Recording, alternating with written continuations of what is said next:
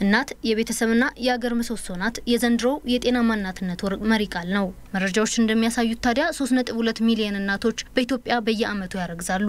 ከእነዚህ ውስጥም 50 በመቶ በቤት ውስጥ ይወልዳሉ። በክልል ደረጃም በባህልና በሃይማኖት ተጽዕኖ ስር ያሉ 70 በመቶ የሶማሌ ክልል እናቶች በቤት ውስጥ ይወልዳሉ። በሶማሌ ክልል ፋፋን ዞን አውበሬ ወረዳ አዋላጅ ነርስ የሆኑት ሀምዳ አሊ እንደሚሉት በቤት ውስጥ የሚወልዱ የሶማሌ እናቶች በብዛት ለሞት ይዳረጋሉ። health facility ሲሄዱ ወንዶች አሉ ይላሉ። ወንዶች ደግሞ እኛ እንፈራለን፣ culture አችን ደግሞ አይፈቀድም እና ሃይማኖታችን ይላሉ። ብዙ ጊዜ ቤት ውልድ ሲወልዱ ይሞታሉ፣ excessive bleeding ይሆናሉ፣ ልጁ ይሞታሉ፣ በብዛት ይሞታሉ።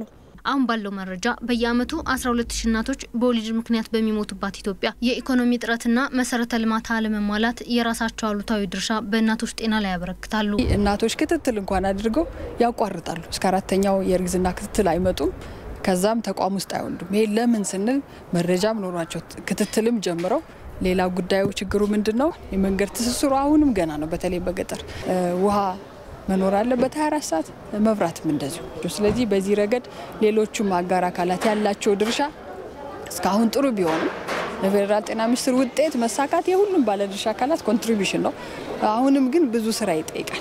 በጤና ተቋማት ያለው የሕክምና ቁሳቁሶችና የባለሙያ እጥረት እንዲሁም የጤና ባለሙያዎች የስነ ምግባር ጉድለትም በእናቶች ጤና ዙሪያ በሚሰሩ ስራዎች ትኩረት ይፈልጋሉ ከተባሉት ውስጥ ናቸው። የጤና ሚኒስትር ዴኤታዋ ዶክተር ሊያ ታደሰ እንዳሉትም እናቶችን ከሞት ለመታደግ የብዙ ባለድርሻዎችን ትብብር ይፈልጋል። ስለ እናት ህይወት መመካከር፣ ስለ ህጻናት እንደዚሁም ስለ መላው ቤተሰብና ስለ ሀገር መመካከር ማለት ነው። የእናቶች ጤና እና ሞት ጉዳይ በርካታ ሴክተሮችና ባለድርሻ አካላትን የሚመለከት በመሆኑ ሁላችንም እነዚህን ችግሮች ለመፍታት ከዚህ ጋር ተያይዞ የሚከሰተውንም የእናቶችና የህፃናትን ሞት ለመታደግ የበኩላችን እንድንወጣ ቃል እንደምንገባ ተስፋ አደርጋለሁ።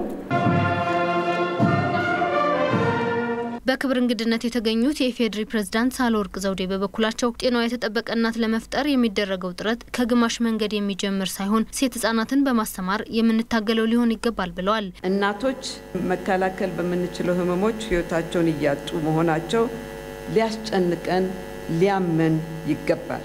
የህብረተሰብ ጤና እንደ ሀገር በራሱ ትኩረት የሚሻ ቢሆንም የእናቶችና ህጻናት ጤና የተለየ ብሔራዊ ቁርጠኝነት የሚያስፈልገው ልዩ አጀንዳ መሆኑን እያሳሰብኩ ሁላችንም በዚች ቀን ከዚህ ቀደም የገባነውን ቃል እንድናድስ ጥሪዬን አቀርባለሁ። ከጥር አንድ እስከ ሰላሳ ባሉት የጤናማ እናትነት ቀናት መርሃ ግብርም ሰፊ የግንዛቤ ማስጨበጫ ስራዎች ይሰራሉ ተብሎ ይጠበቃል። በመድረኩ ከፌዴራልና ከክልል የመጡ የጤናው ዘርፍ ባለድርሻዎች እንዲሁም የተለያዩ ተቋማትና ድርጅቶች ተወካዮችም ተሳትፈውበታል።